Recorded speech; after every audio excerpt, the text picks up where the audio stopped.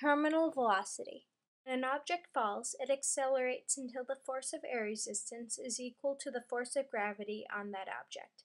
This speed is terminal velocity, the speed at which acceleration is zero. So why does a coin fall faster than a feather? The feather is lighter than the coin. Because the feather is very light, air resistance quickly equals its weight, so acceleration is very brief. This means the feather has a low terminal velocity. A penny weighs more, so there needs to be more air resistance for the penny to reach terminal velocity. The penny will be able to accelerate more, so it will have a greater speed when it reaches terminal velocity.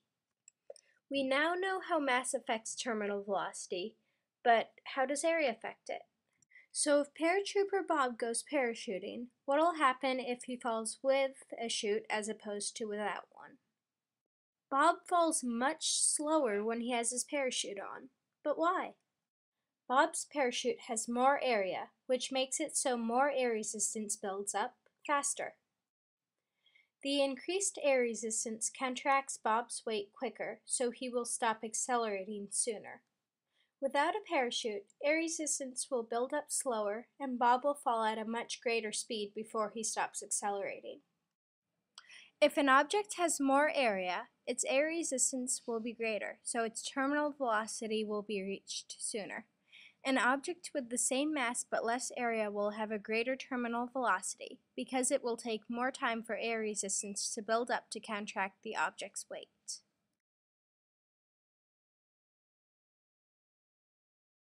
Yo, it's DJ Kara. And DJ Sarah. Terminal velocity ain't no atrocity. It's really quite simple if you want to understand. Just drop a feather and a coin right out your hand. Net force is zero. You don't have to be a hero. Acceleration terminates. It's really kind of great. If you're parachuting, we'll all be rooting. Terminal velocity saves your life so you can go home and hug your wife. It's terminal velocity. What? Yeah.